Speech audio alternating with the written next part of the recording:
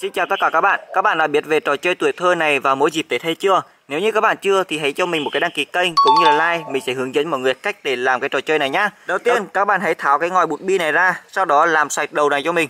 Sau khi ngòi bút bi được các bạn làm sạch thì các bạn chuẩn bị cho mình một que diêm. Sau đó thì các bạn à, lấy cái đầu đỏ của diêm các bạn nhém vào cho mình nhá. Một que diêm của mình đã được bỏ vào trong ngòi bút bi. Sau đó các bạn lấy cho mình một que tăm và các bạn đâm vào các bạn nhắm thật chặt vào và như thế nó sẽ tạo ra được một cái tên lửa rocket mini từ que diêm các bạn nhé chỉ với một hộp diêm và năm đầu que bút bi và năm que tăm, mình đã hoàn thành được năm cái tên lửa rocket từ diêm bút bi và tăm các bạn ạ. Để chơi được trò chơi này, các bạn sử dụng bật bật lửa và các bạn đốt vào đầu bút bi các bạn nhé ấy các bạn thấy chưa?